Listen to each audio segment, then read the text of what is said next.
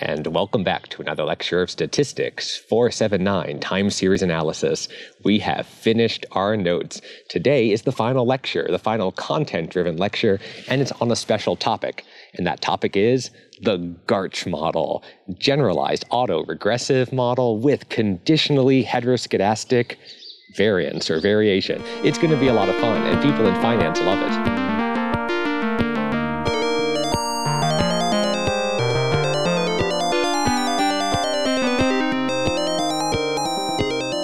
So in today's lecture, what we're going to do is we're going to discuss this idea of the GARCH process. It's a process that extends what we've already done for autoregressive and ARMA models, but now we're going to focus on the variance because the one big assumption that we've made throughout this course is that the variance is never changing. That is the variance of the white noise process underlying our time series, the variance is always going to be the same, or at least it was always the same throughout this entire course. And that's a pretty strong assumption because very often the variance, the volatility, um, the varying of our time series will change over time. This is most notable in financial time series because it's very common that you'll be watching the price of some stock, some asset, some whatever, and it's going to be fluctuating kind of randomly up and down, not changing too much, but something happens. And now it's going to still fluctuate kind of randomly up and down, but much more drastically. And if there's an increase in the volatility, that's something that we might want to know about if we're trying to do investments. Now, I don't know really anything about investing, but I do know some things about time series. And today we're going to look at the time series models from our course. But considering that the variance may change throughout time. And this is going to be a new interesting topic, something to do a quick little overview before we end our course. So let's get into the notes and see what this is all about. And welcome back to another lecture of Statistics 479 Time Series Analysis. This is our final content driven lecture. The next one's going to just be a recap of everything we've done. And um, as with the last lecture, since I've covered all of the main material that I set forth to do in this course, um, after the end of the spectral methods, we have another bonus lecture here. But this one I think will be particularly interesting for all of those out there who are interested in um, financial modeling, because we're going to be talking about the GARCH model. Okay, so what in the world is that? Well, it's actually the GARCH process, G A R C H. You can find it on the uh, website Investopedia, a website that I was uh, recently made aware of by one of my students. Um, and they have a nice sort of qualitative definition of it. And they basically say, well, it's an autoregressive model, but what is the CH, right? We know what AR is, it's autoregressive, but CH? CH is conditional heteroscedasticity.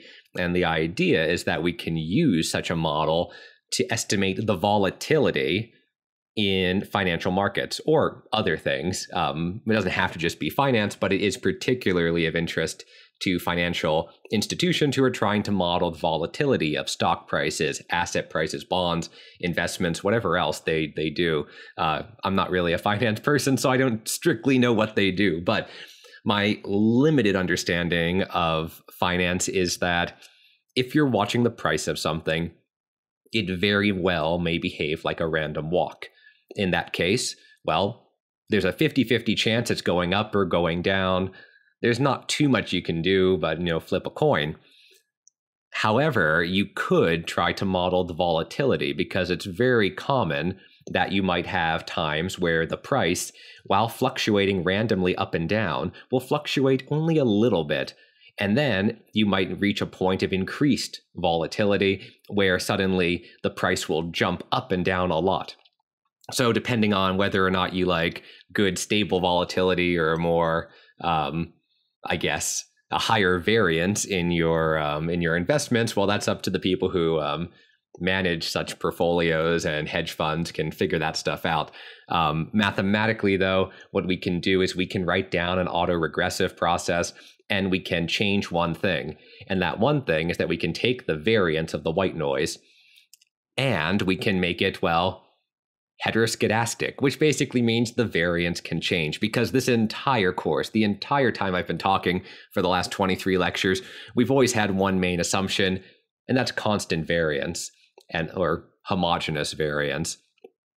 Now, this is a standard assumption in so much of statistics. If we do linear regression, homogeneous variance, we do time series, homogeneous variance, I do design of experiments, homogeneous variance. We usually hope this is the case throughout statistics. It often is not the case. And that's why we need more sophisticated models to study this topic.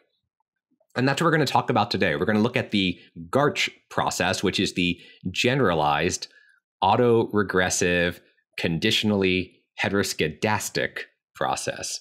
And it's a pretty good time. Okay, there's a lot that you could study about this. We're not going to go into all the nitty gritty details, but at least I'll give you an overview of what this is. And we can apply it in R, and I can show you at least how to use one specific R function to fit such models to data because it can be a little well, it can be a little complicated, um, but we'll get all into that. Um, but first, let's write down what this model is in the notes.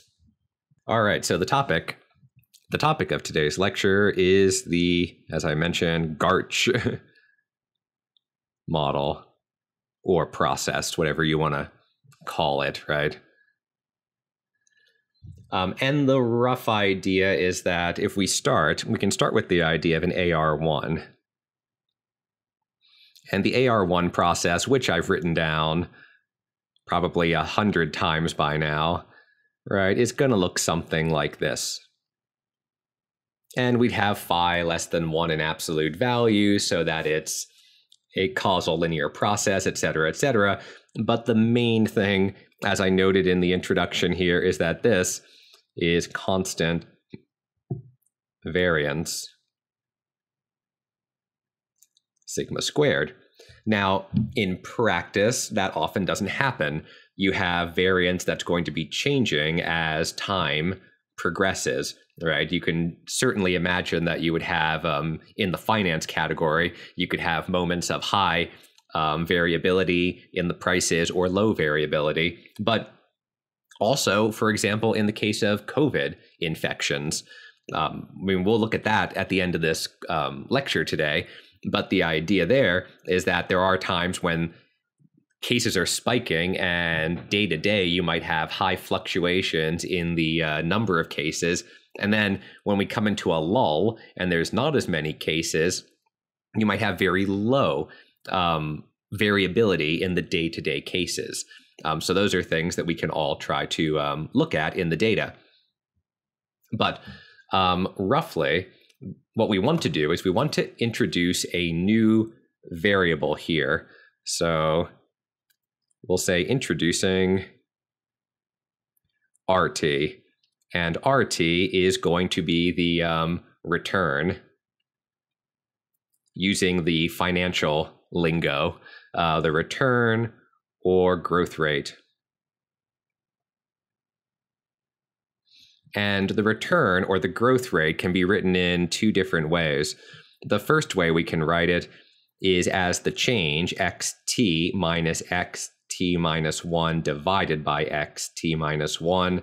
In this case, the return is basically saying, well, how much did the, let's say price, because it's the most natural setting for this. If xt is the price of some stock, then we could look at the change in the price from time t minus 1 to time t. And we can normalize that by the price at t minus 1. So it's like saying if I bought, you know, one stock at price at t at time t minus 1, then what's the percentage change one time unit later? You know, whether we're watching this daily or monthly or annually or whatever. Um, and that's going to be the return. Now, there's another way that's sometimes more convenient. Sometimes you'll see it written as, I'll say approximately, the um, first difference of the log of xt.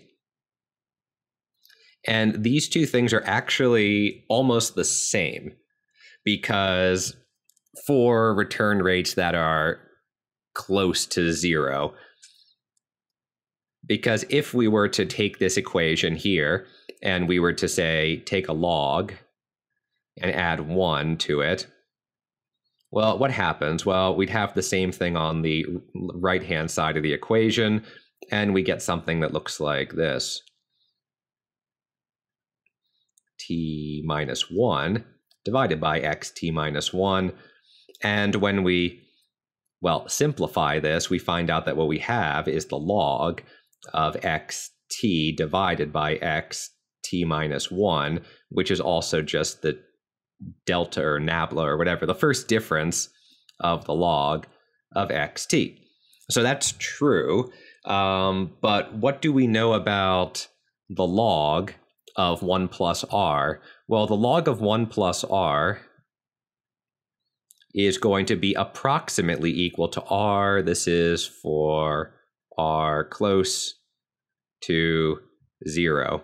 You can see this by using Taylor's theorem and expanding the logarithm, um, using Taylor's theorem and basically throwing away all the um, higher order terms. And uh, this won't work very well if r is large, but typically the settings of interest, we're going to have r is going to be a little bit above or a little bit below zero, a little bit of a positive gain or a negative gain. And in that case, we can use um, this formulation as the first difference of the log of the uh, original time series process. And this is something that you will see people use in textbooks a lot, sometimes without even explaining it. They'll say, We have a time series X, we're going to take a log, and then we're going to take a first difference.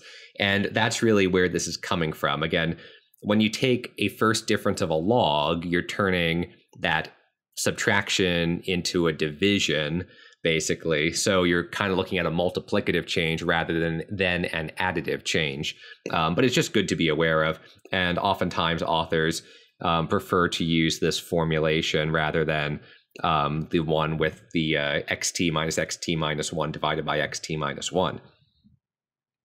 Right, so now that we have that, the question is how in the world do we um, model this? So we're actually going to end up modeling this into pieces. So the first thing we're going to discuss is just the ARCH model. So first, we'll consider the ARCH one model. And the ARCH 1 model is just the autoregressive model with this conditional heteroscedasticity and a single autoregressive parameter. Again, you can imagine, just like what we've done in this entire course, we could certainly have p parameters for our autoregressive process. In this case, we're going to just start with one because, again, it is the simplest setting to get our head around before we make this more complicated. Now, the model is going to look a little bit different than before. So now what we're going to have is we're going to be modeling RT. So we're going to have RT here, and it's going to equal sigma t times I guess we can use WT for the white noise piece, WT. And then we're going to have sigma t squared. And this is going to be some coefficient, which we're going to write as, I think, alpha, because I believe that's what they use. Uh, they use, I think, omega, but we'll use alpha um, to coincide with, um, I think, some of the textbooks and not the R package. Um, alpha 1 or alpha naught and alpha 1 are going to be coefficients. And we're going to have something that's going to look like this. All right, so let's stare at this for a second. What are these things? Well, we're going to have RT is sort of as above. It's the return rate. Uh, sigma t squared is the time varying variance or I guess sometimes they might say volatility. Um, but right, it's it's the variance term, but now the variance term is varying um, in time. WT here is still going to be IID white noise. In fact, I think we can claim Gaussian I believe I have to double check the R documentation, but I believe the R function that fits this uses a maximum likelihood approach based on the noise being Gaussian. So again, if we have Gaussian noise, we have this setting, we can do maximum likelihood all as well. But we haven't gotten there yet. Uh, we're still writing this all down. And then we're going to have two different coefficients here, which is the sort of constant, and this would be the, I'll say AR1, or the ARCH, well, AR1, and these are the coefficients that we'd be fitting um, based on the data. And note that here what we have is we have a square. So it's a little bit confusing, but what we're basically saying is the returns RT are going to be modeled as, well, some random Gaussian white noise, so just random variable, but multiplied by some variance. So what does this tell us? Well, this tells us a couple things. It says that, um, well, I guess we need to do some conditioning first, but roughly what is telling this first equation is telling us is that the returns are going to be mean mean zero random normal random variables but where the variance is going to be changing in time um, we're still going to stick with mean zero here um, meanwhile the variance term, I mean, this is a standard deviation sigma, but then the squared, the variance term is going to be affected by the return rate. If the return rate gets bigger, um, then the variance at that next time step at t minus one, if the return rate is larger, then at time t, the variance will be larger for the next return, and vice versa. If we have a return rate that is basically zero, then the variance will reach its smallest value. And I should point out, just to make uh, make it explicit, that note we need alpha zero and alpha one to be greater than not greater than one, greater than zero, um, as sigma squared t has to be positive because it's a variance. So it would be nonsensical to have negative values in there where you could possibly have negative variance. So we do have that restriction on this model that we have to take into account. Um, otherwise, yeah, we have an, a model here where we're modeling a transfer. Remember, the return rate is a transformed version of our time series xt and we're modeling it as having a um, some sort of um, stochastically varying variance uh, term. All right. Cool. So, what can we learn about this? Well, um, first of all, we might wonder why was it conditionally heteroscedastic? Like, where's that coming into play here? Well, it turns out that we can try to figure out what the distribution is. So, of RT. So, if WT is Gaussian, and um, nope, I don't need an and. if WT is Gaussian, then let's consider the um, well, let's let's consider plugging the this one equation into the other equation. So if I go up to my two equations there, what do I have? I have something that looks like RT is equal to sigma t, which in this case is going to be the square root of the lower, the second equation, alpha naught plus alpha 1 r t minus 1 squared. And this is all multiplied by wt.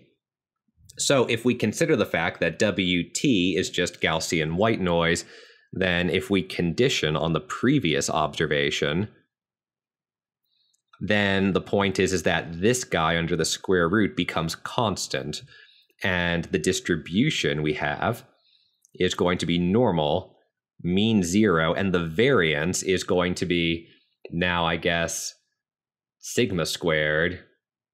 Well we still need the variance of the white noise process. Ah sorry i realize in the formulation i should say um, we can assume just for, I guess, identifiability purposes, that WT is going to be standard normal. The point being is that if it has a variance that's different from one, it would be the same as just scaling alpha naught and alpha one. So we'd have some parameters that would be fighting with each other. Um, so in this case, we just standardize it and say that the white noise has is standard normal, and then we try to estimate alpha naught and alpha one. Because what happens is when I multiply the white noise by the square root of this thing, it multiplies the variance by, well, that thing. So the variance is going to look like this. So it means that the um, the conditional process, that is RT conditioned on the previous observation, is going to be mean zero, and the variance is going to be dependent on that previous observation. Now, what we can do is we can actually square the above and kind of play around with this a bit. So if we square the above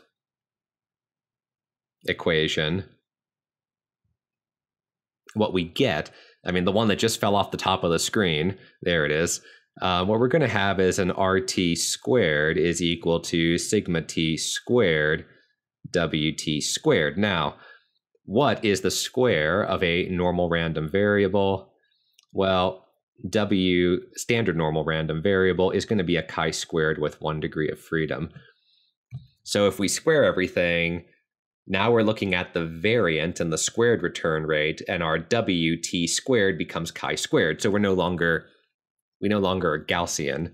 Um, but if we also write down the equation above that also just fell off the top of the screen, which is this thing, um, alpha 1 r t minus 1 squared, then we can subtract one of these from the other. And what we end up with is a new equation. So basically, we take these, we subtract one from the other, and we end up with something on the left hand side that's going to look like RT squared minus alpha 1 RT minus 1 squared um, minus alpha naught. And then on the other side, well, when I subtract this from itself, what we end up with is a sigma t squared. And then we have our white noise term, wt squared minus 1. So wt squared minus 1 is a centered chi squared 1 random variable.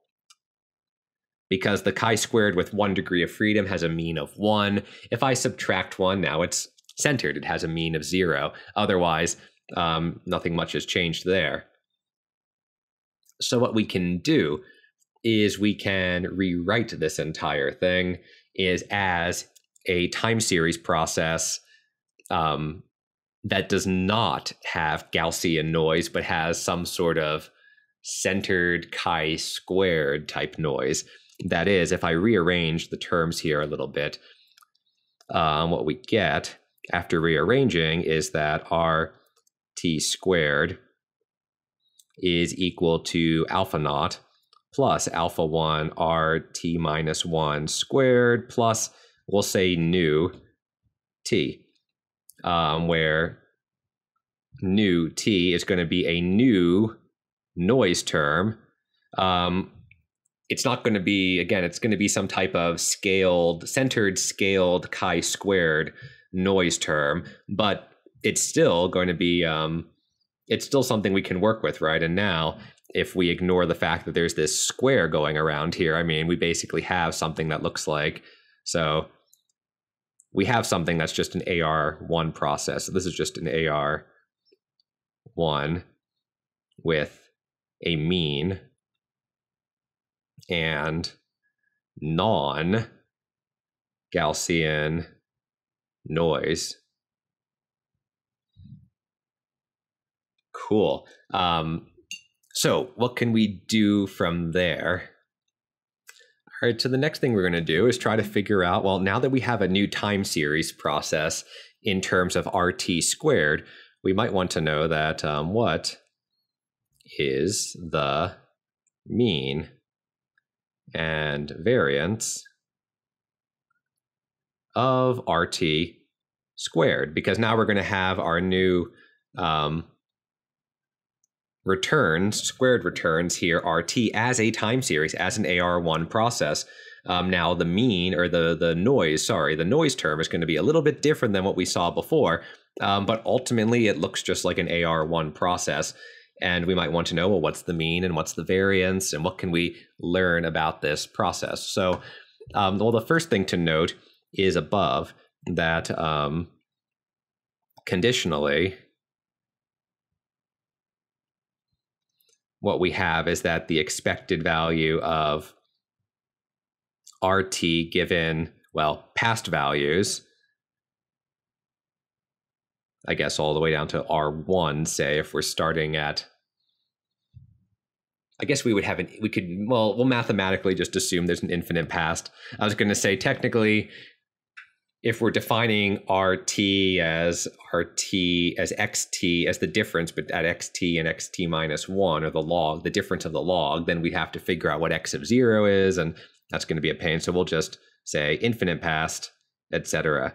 Um, it ultimately isn't going to matter because this follows the um, Markov type property where only the previous value is going to matter. So I don't even need any of these dot dot dots in here. I just need the previous value um, when I'm conditioning on the past values of my of the time series here.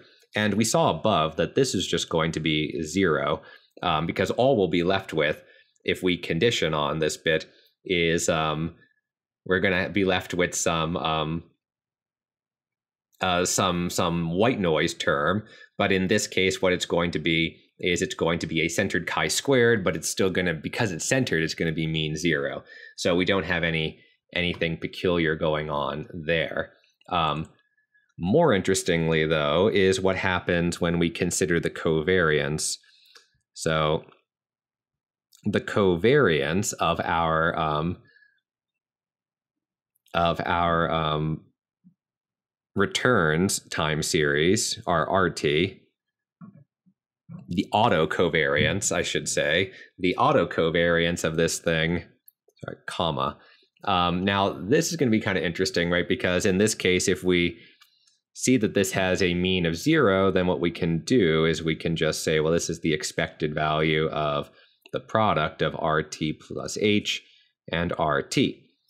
So, how do we go about trying to sort this thing out? Well, we can actually use something called the um, Tower property of conditional expectation, something that you may have seen in a probability course, but you may not have.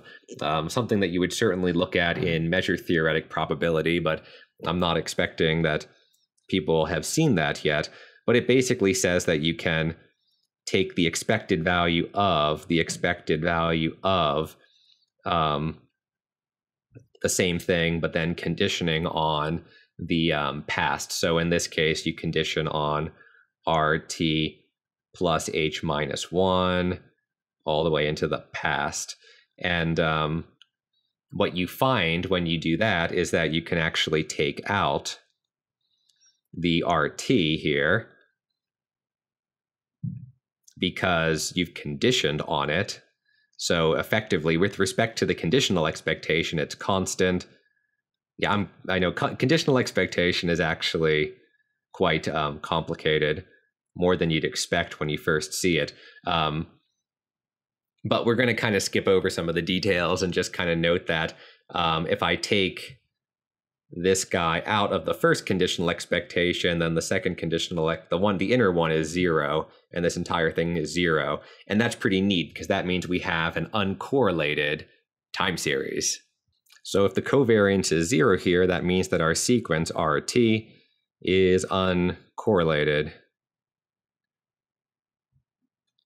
It doesn't necessarily mean that the observations are independent of each other. It just means there is no linear relation um, in the sense of correlation. So it's a key thing to remember. Just because it's uncorrelated does not necessarily imply independence. Um, it's just, well, uncorrelated. All right, so what else can we do with this? Well, we can work our way through and actually go back to um, sort out the um, the variance as well. So the variance of RT, I should say this is for H, just to be pedantic and precise, H is greater than zero um, to make that work. if I want the variance of this returns, well, what I'm going to get is the expected value of RT squared. Now we have RT squared up here.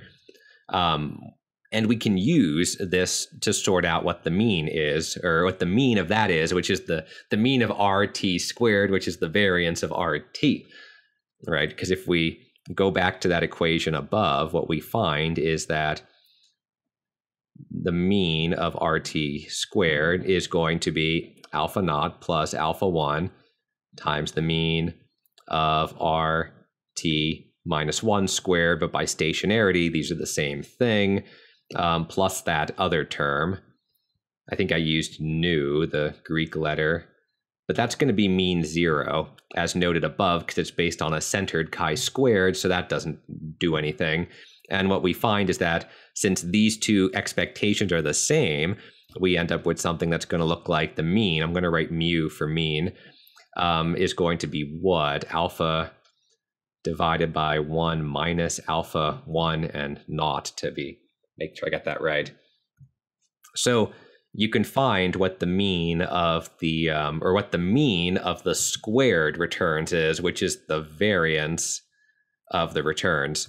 Um, so here, alpha naught is right just going to be the constant value. It's basically maybe I should try to interpret these things right. Alpha naught is kind of like the lower bound on the variance.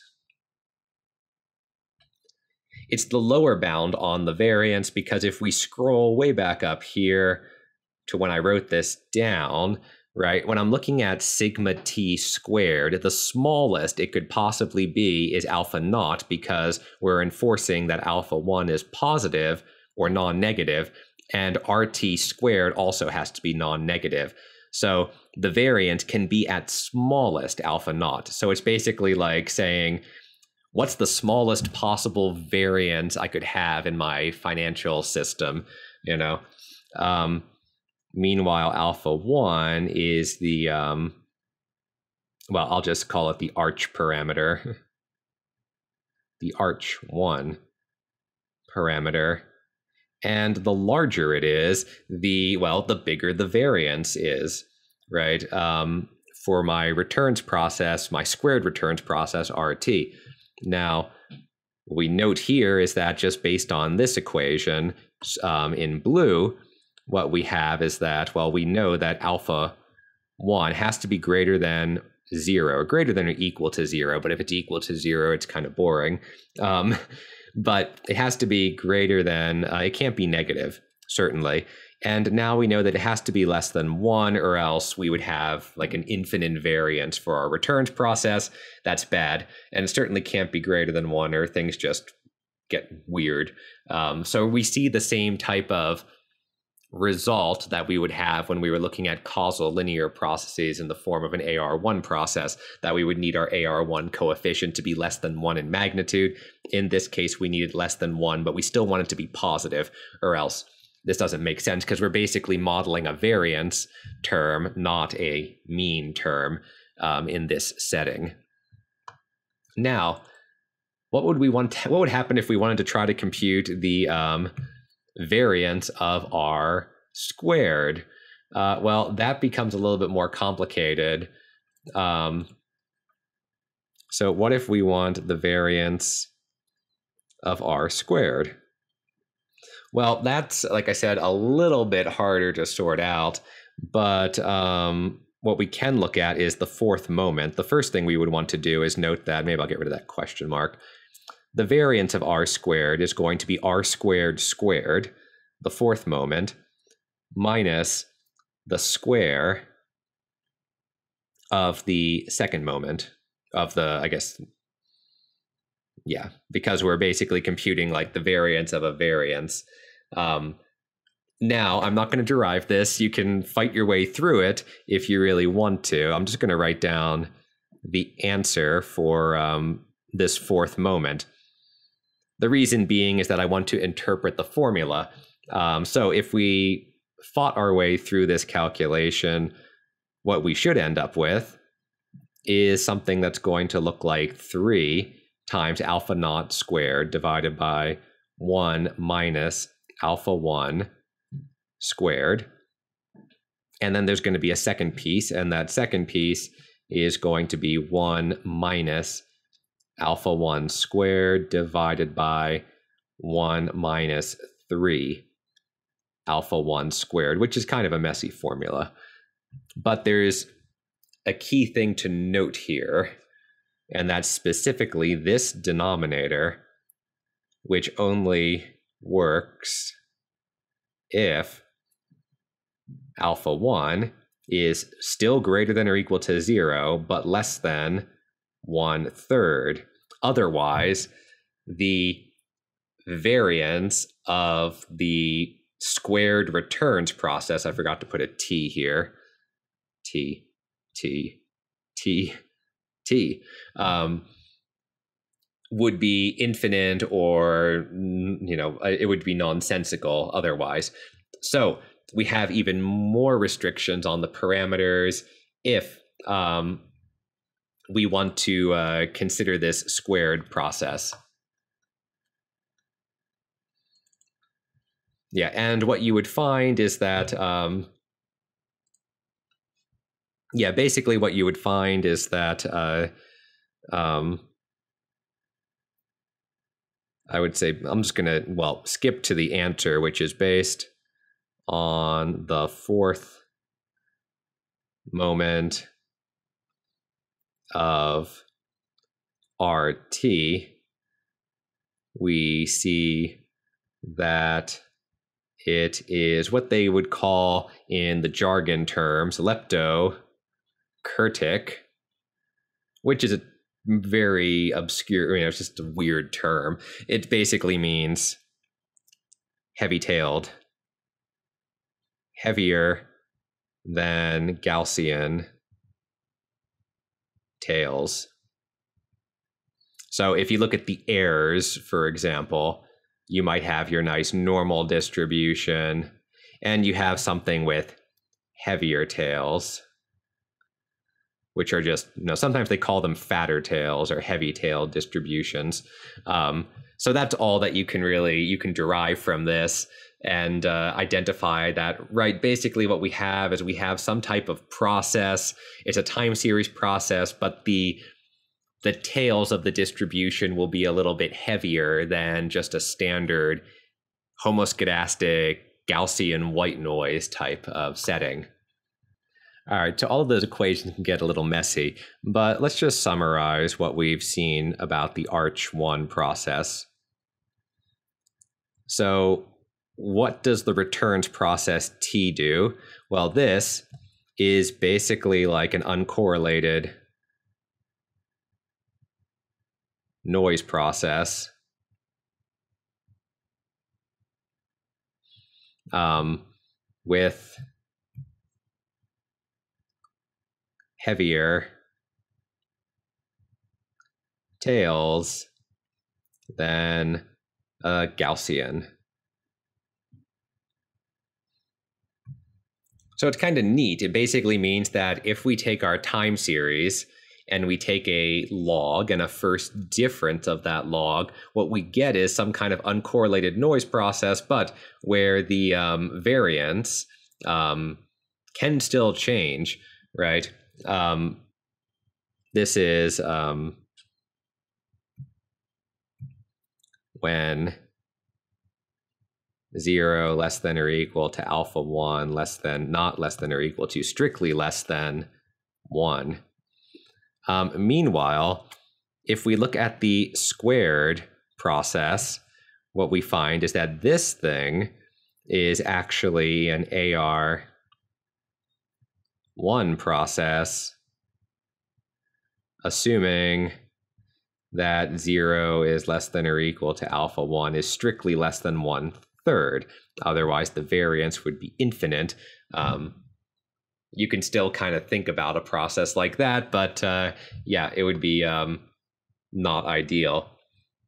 I mean, in some sense, you could think of like a random walk as having an infinite variance in the case that you would run it back you if we run it infinitely back in time, then it would have like an infinite variance. So it's not infinite variance doesn't just shut us down completely in this topic. Um, but if you have alpha one less than a third, then you have a nice AR1 process that has a finite variance and everything. So that's always good. Right. So I don't really want to talk about, well, how to fit this, but I'm going to just say really quickly how to fit this model. And what we're going to do is use our good friend maximum likelihood estimation. Um, the maximum likelihood estimator, um, strictly, I guess in this case, that is, it's um, conditional. MLE because what we'll be doing is conditioning on the previous um, observations, much like I wrote way back up at the top here somewhere where I said that the conditional distribution of this RT is going to be normal mean zero with some variance depending on whatever the previous RT minus one measurement is or return rate squared. So I don't think there's anything too novel or enlightening about writing down the maximum likelihood equation, so I'm not going to do it. But roughly, it's the same thing we always do, which is we write we write the joint likelihood as a product of conditional likelihoods. We take a log of that. We get a system of equations after taking derivatives with respect to the two things we're trying to fit here, which is alpha naught, again, that baseline variant or constant term, and alpha one, which is in some sense the autoregressive parameter. It's kind of like how much the variance will change with respect to the return rate from yesterday. Um, but more interestingly, is the idea that we can actually combine. Well, we can first of all we can make this a. Um, well, there's a lot of things we can do, right? We can uh, we can make this more interesting um, by adding different types of time series models together. So I'll say thus far the ARCH model is only for the um, noise or the, I guess, stochastic piece. We're not um, considering the mean, right? We're not looking at trends. We're not even looking at how xt might change like a stochastic process. We're just looking at the variance term sigma t. That is, specifically, we're looking at sigma t or sigma t squared and RT, our transformed series. But we might want to know how um, the time series value itself, xt, let's say the price of some asset is changing. Um, and that's where we can actually start to combine things. So we could have um, some extensions like an ARCH with I guess, covariates or some linear covariate bit. Um, in this case, what we could do is we could have that xt is equal to, need some notation here. I guess we can do um, beta dot zt, some other, well, z could be a time series, it could just be some other um, covariates measured at any time, right? And then we could have a uh, a noise process, which I don't think I used epsilon. No, I used WT above. Good, I'm going to use epsilon. Epsilon t. So when you stare at this equation, it looks a lot like linear regression, but I'm not thinking of it as linear regression. I'm thinking of it as a time series where here we would have some, um, I'd expand this and get something like beta 1 z t1 plus beta 2 z t2 plus whatever. Um, I don't really want to use p because p is usually my autoregressive. Um, yeah, p is overused in statistics. Um, whatever. Basically, we would have. I'll, I'll just end it with um, fine, we'll just use P because it's always P dimensions. Maybe we'll use D for D dimensions, even though D is usually the order of the the integrated part, the differencing. So man, I am running out. There, there are just too many different indices in this uh, in this subject. I cannot keep. Um, we'll just use p and hope that I don't run into a notation conflict later. But the point is, is that I could have other time series that are driving the mean of the process xt, and then my epsilon here is not really just epsilon IID noise, but it would be some um, and epsilon here would be some ARCH process.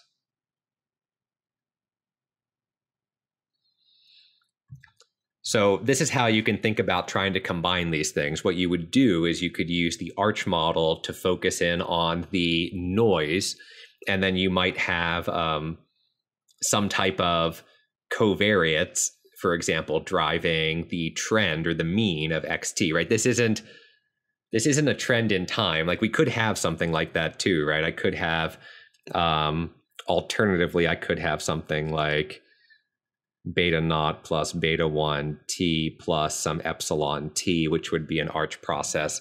Um, these are all different ways of looking at this, right? Here I would have some linear trend.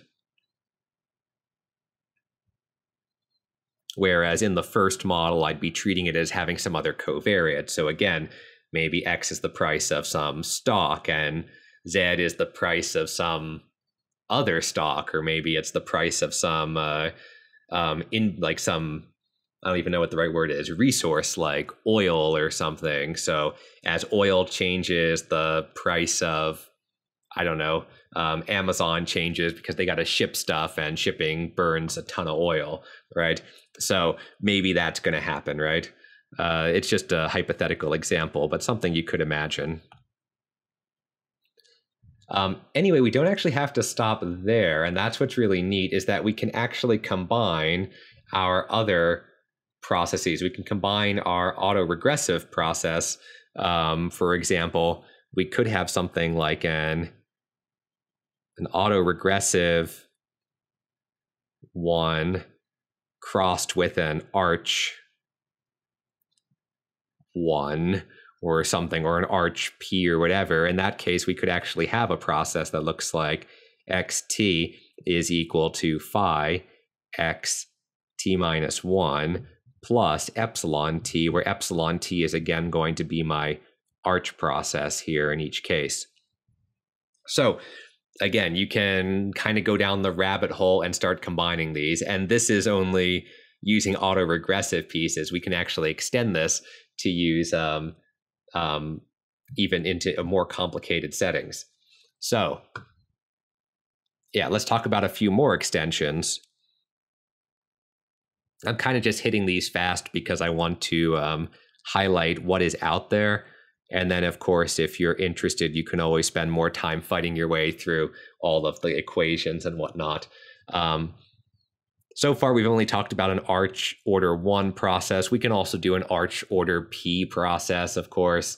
Um, in that case, all we'd really be doing is changing the equation from to, or the equation for sigma squared to be sigma squared is equal to alpha naught plus alpha 1 r t minus 1 squared as before. But now we're going to keep going down the little rabbit hole here all the way to alpha p r t minus 1 squared. Not t minus 1, t minus p, of course. So in this case, right, we can basically sigma squared t depends on previous p previous returns so that would be one way that we can extend this from a depending on the previous time step to depending on the previous p time steps. And once again, yeah, we can fight our way through a bunch of likelihoods. I don't really want to do that because it's annoying and it's so messy. Um, but more interestingly might be something called the GARCH, which is how I started this section by saying there's something called a GARCH process, which is the generalized, G for generalized, autoregressive, conditionally heteroscedastic process. Um, if we look at the GARCH 1 1 process, what we would have is equations. Once again, we would still have this RT is equal to sigma t wt as above. But our sigma squared t equation, remember, we always get two, like a pair of equations. Sigma is driving RT and RT is driving sigma. Um, where this model affects things is going to be in how we define sigma squared or how sigma squared at time t is represented. In this case, we would have something that looks like alpha naught plus alpha 1 r t minus 1 squared plus beta 1 sigma squared t minus 1. So now we have our 1 and our 1. I kind of don't like the notation that they use because I feel like beta should be more like the auto regressive piece, but actually alpha is the auto regressive piece because if we shove it into the above equation, then it looks more like an auto regressive piece. Whereas if we again shove it into the above equation, the beta looks more like a moving average piece. It can be a little confusing um, based on our previous discussions on the ARIMA process. Um, so try not to get too hung up on the notation, but this would be like a standard notation for a GARCH 1 1 process. I assume people say Garch, but I've never actually heard anyone say Garch, so hopefully that doesn't um, sound stupid. Um, regardless, yeah, that's um, like okay, so yeah, it's actually probably a good thing to point out why you can think of this as an ARMA 1 1 process. Um, so similar to above, if we were to um, square this thing and combine the two of them. So if I were to basically square, square, and square and combine the two, what I end up with is something that's going to look like um, RT squared is equal to alpha naught plus alpha 1 plus beta 1 r squared t minus 1 plus some noise term nu t minus beta 1 nu t minus 1. Um, so again, skipping some of the steps, but just giving you the impression that what we have is something that's going to be like an AR piece and something that's going to be like an MA piece, which is where the terminology comes from. It's really AR and MA for RT squared, um, if that kind of makes sense. All right, and that's more or less everything I wanted to say about the um, Garcher, the generalized autoregressive conditionally heteroscedastic model. Of course, if you really wanted to, you can extend this to a GARCH PQ. You could also have some type of ARMA let's say PQ crossed with a GARCH P prime Q prime model. And in this case, what you'd basically have is one process here, which is driving the um, hetero, hetero, get all the vowels in there, um, skedastic errors um, and then this would basically be driving more like the mean of the uh, process. Right, this is affecting the xt, and this is affecting the errors, which I was calling epsilon t above.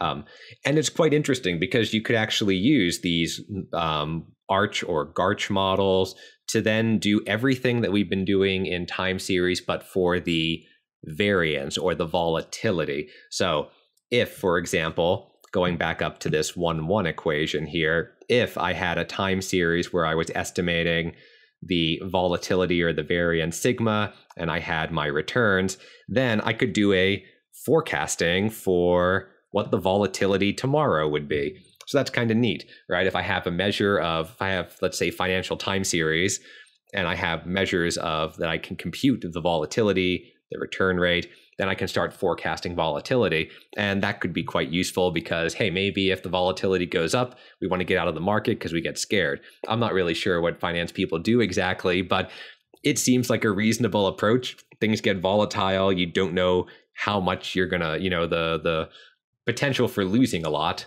um, increases, of course, the potential for gaining a lot might also increase. So, um, whatever the hedge funds do is kind of um, opaque to me. Um, but this gives you an idea of what these models will look like. And I think it's a really interesting extension, something that is b- different than what we've talked about so far in this course. And of course, there's a lot more to look at, but instead of fighting our way through more equations, we're going to jump into RStudio and see what we can talk about with respect to the volatility of the COVID pandemic. And I think that would be a lot of fun. So I'll see you right over there. All right, and we are back in RStudio one more time.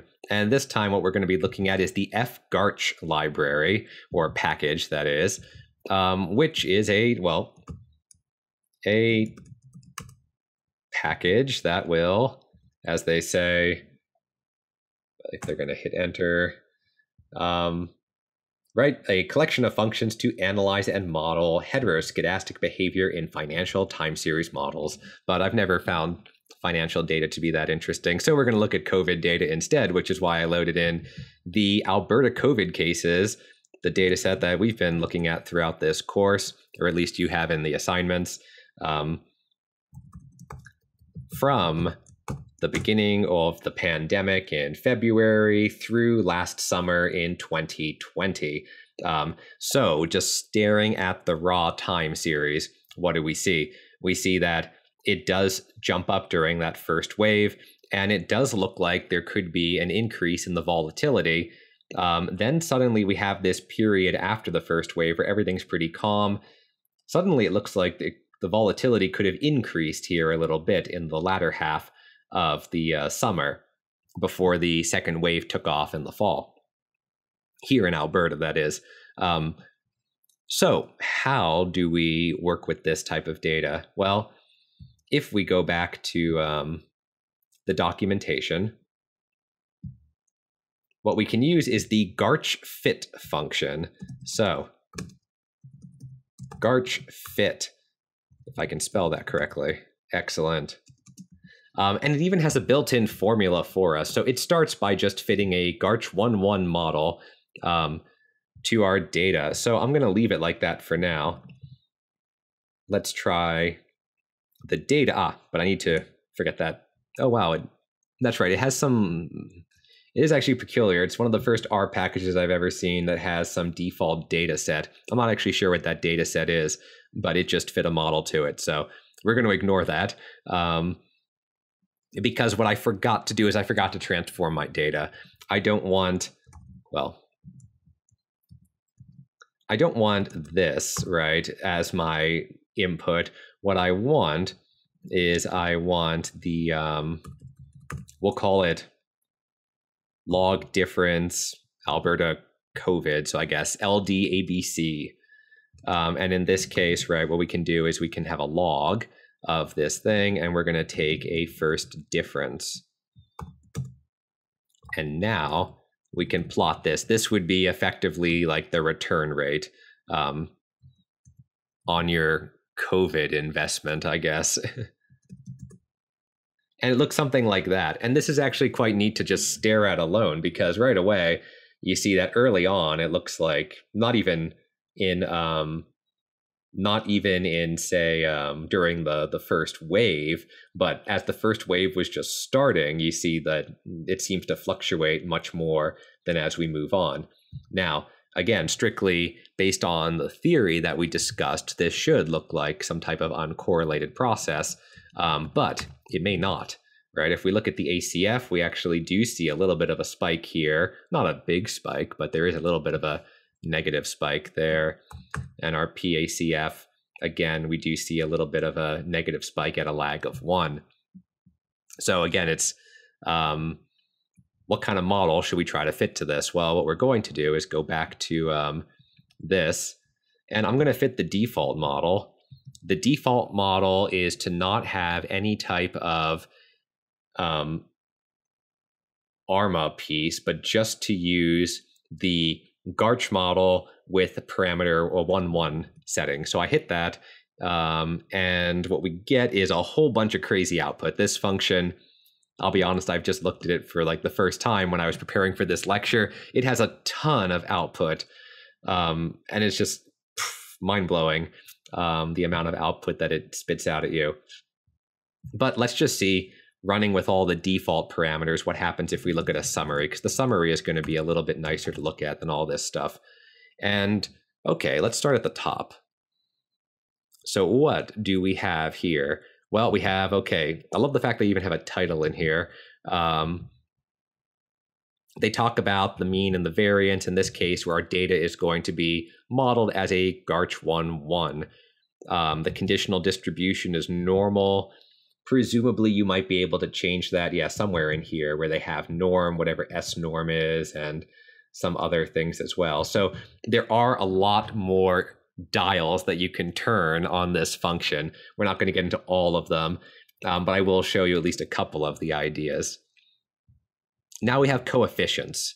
So what in the world are these coefficients? Because we've got mu, omega, alpha 1, and beta. It's a little confusing when you first stare at this um, because mu, I believe, should be an overall mean but omega is going to correspond, I believe, to alpha naught in our equations from the notebook that we were just in. Remember what we had for the GARCH 1 1 model, we had alpha naught, we had alpha 1, and we had beta 1. So alpha 1 and beta 1 are here. I believe this is alpha naught, even though the if I can understand the way that they write this, where they don't give you a ton of documentation um, on what all of these things mean. But I believe that's what they mean by omega. And then mu would be like a overall mu, I think, of the process x um, t then. Or it might just be the difference between, okay, because alpha naught is not strictly the, that's probably what it is. Alpha naught is not the um, mean. So presumably we can actually recover mu. If I if I understand this correctly, what we should be able to do is um I forget, it doesn't really matter. The point is, is that we fit our parameters. Um, we get our usual type of thing we would see in a regression. We have our standard errors. We have our t values. We have our p values. We find out that we get a little bit of significance for the alpha parameter. We get a pretty strong significance for the beta parameter here. Um, and even more so, we get a whole bunch of crazy tests on the residuals. So when you look at this, you think, okay, what is going on here? Well, the okay, I'm not sure. Jark, I hope it's Jark, uh, Bera test uh, is a goodness of fit test. Presumably, they're doing goodness of fit with a chi-squared statistic. Um, Shapiro-Wilk is a test for typically for I think normality. Um, and I believe this is based on R for residuals, R squared for squared residuals. And then we've got a whole bunch of different Ljung-Box tests and whatever LM ARCH is. So there's a ton of different hypothesis tests being done here.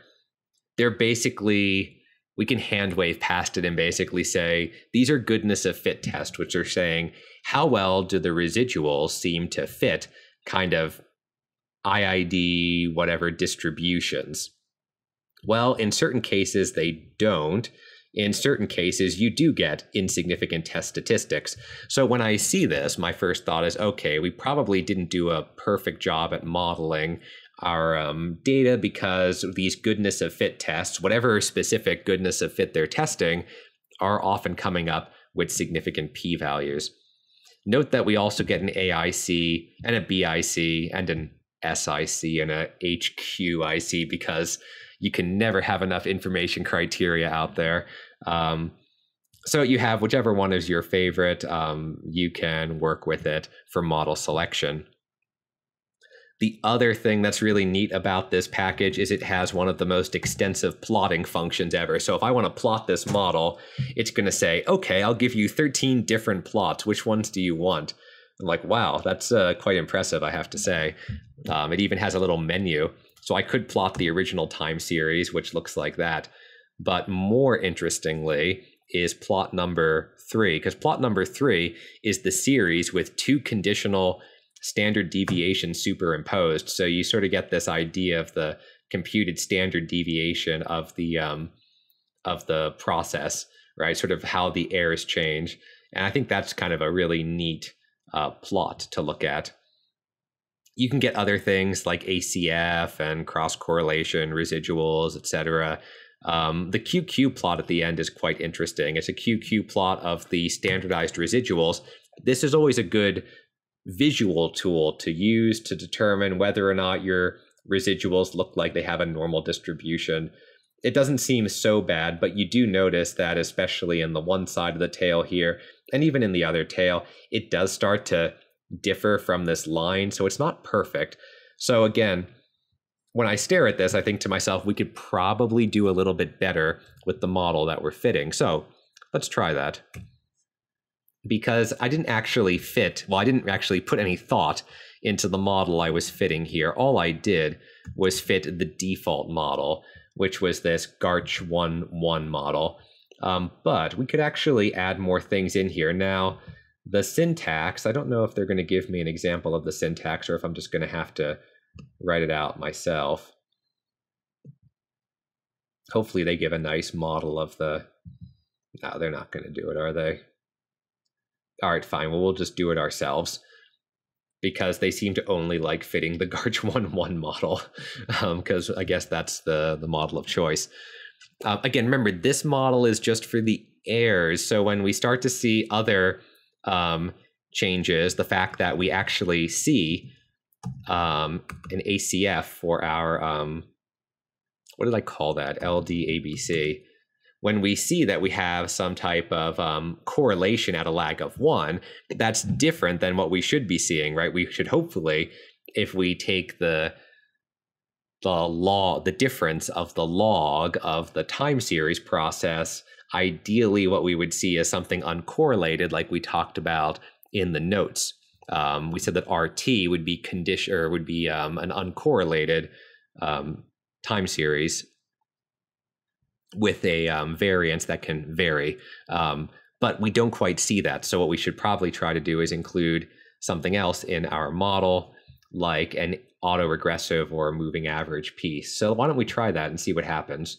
Let's get back to the syntax and we'll see if I can get this right what we need to do is we need to give it a formula.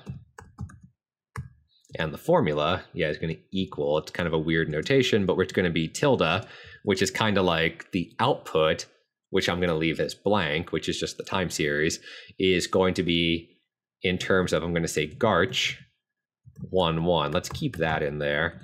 Um, but I'm also going to include an ARMA 1, 0. So now I have an auto regressive piece that's also in there driving, I guess, the this process as well as the GARCH model. And I need to get rid of that question mark, and we'll call this MD1, and it's going to give me tons of output and an error. Why is it giving me an error? I think I just tried this like a second ago before doing this lecture. So, okay, so that's the problem we have some uh, very finicky um, notation where I have to put the ARMA process first and the GARCH process second, or else it's going to spit an error out at me saying, hey, the mean has to be one of AR, MA, or ARMA because I guess it's taking the first thing to be the driver of the mean and the second thing to be the driver of the uh, variance here. So again, we get tons of output when we run this. But if we instead just type in summary MD1, we'll get something a little bit nicer to look at. Um, and now we have a new parameter here, an AR1 parameter. So again, we still have the mean of our process. We have now an auto-regressive parameter for our process. Um, and that one is getting a fairly significant p-value associated with it this omega term, which is like the alpha naught term, which is kind of like the mean value for the variant or the lower bound, sorry, the lower bound for the variance term is uh, not significantly different than zero in this case. Alpha one, eh, it's like kind of getting to significant. Um, but again, it's not uh, it's not a strongly significant term, whereas beta is still very strongly significant. Now, uh, more interestingly, if we look at these goodness of fit tests, which are way too many goodness of fit tests, but that's okay. Um, the p values are starting to look better. Now, some of these are still significant at the 5% level, but before they were absurdly small. Um, so suddenly it looks like, okay, the fit might be a little bit better. Um, and more so, the AIC here is smaller. Now, let's see if it'll just give me, oh, it's not going to give me the answer, is it? All right, well, I do have AIC here, which is this 0.684. And if we tediously scroll up until we find the previous model that I fit without the autoregressive piece, we have an AIC of 0.83 and same BIC is 9.9, whereas now the BIC is, if I can get to the bottom, is 0.76. So we do see a decrease in some of the information criteria, uh, indicating that this second model looks better. I also love the fact that they even save my name here as Adam K for who ran this uh, and what time I did this. So I guess you can see exactly when I'm recording my lecture. You know, a little bit of a of a look behind the camera, I guess, to see when this is actually being recorded. Um, it's quite hilarious. I've never seen an R package actually record the user and timestamp when this was computed. Um, hmm, I'm not sure why, but it's kind of neat. Anyway, let's go back and look at some of those plots. Um, because if we go back now, we can again, we can look at this plot three, which I think is quite neat, which again looks at the volatility here. The um, It models this and we have our standard deviations here, um, two standard deviations of where we think this like variance is. Because remember what we're doing is apart from that autoregressive piece that I fit put into this um, into this version of the model. What we have is we have a time series that we're thinking of as more of some type of uncorrelated noise process, but where the variance is changing. And the gray lines are trying to look at like how wide the variance is as we move through time. We can also look at that QQ plot again, and it looks a little bit better. Typically, when you're looking at a QQ plot, you don't really care about what's happening in the far tails. You just want to look at the bulk of the data and say, okay, most of the residuals are more or less following the normal distribution with a couple of crazy outliers, as you often see in the tails. Um, otherwise, there's a whole bunch of other plots you could do. You could look at the ACF of the standardized residuals. That's kind of nice because it says, oh, look, the residuals are looking like they're uncorrelated. That's always a good sign. You can do the same thing for the squared residuals if you really want to. They seem to have something else possibly going on here. So, again, like often in time series, you could spend a lot of time trying to fit models to your data. Maybe we'll fit one more just because why not? We're still here let's see if we fit and uh, oh man, I hate all that output. Maybe if we fit um, in this case an ARMA 1 1 along with a uh, oh that's quite interesting. So we have an ARMA 1 1 and a GARCH 1 1 and what we see is that the AR alpha piece is now looking not significant. The AR1 piece for the actual mean is looking not significant, but both the MA and the beta terms are looking quite significant. In this case, the AIC and the BIC have decreased ever so slightly, but it hints at maybe what we should be doing is removing the AR and the the AR pieces and just fitting some MA pieces. And it gets mad at me for some reason. Order of P must be greater than zero. Okay, yeah, so it doesn't like that.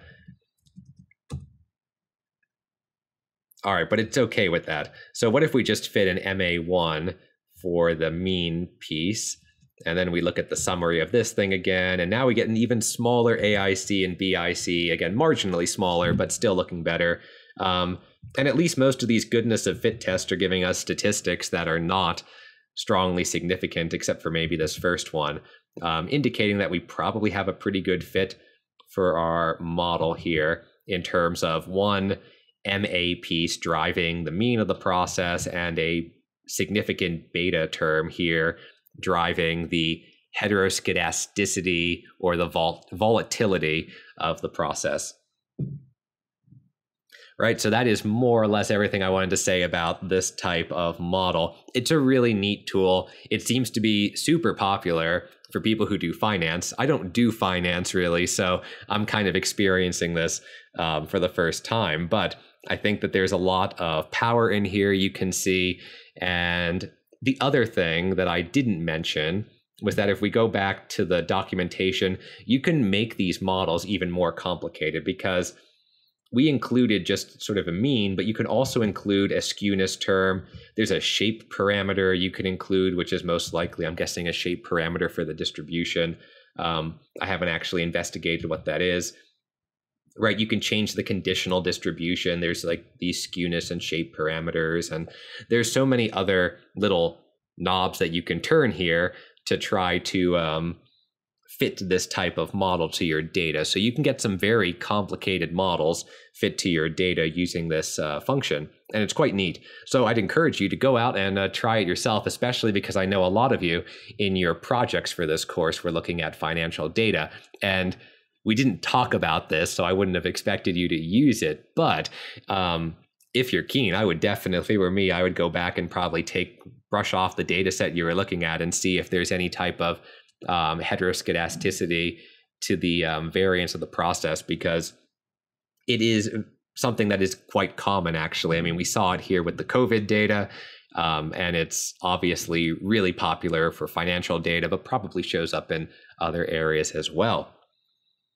All right, with that, we have finished the course content that I had outlined. In fact, we finished more than the course content uh, with these extra two bonus lectures here, thanks to the speed at which I seem to be lecturing now that everything is edited down on video to a more or less good extent.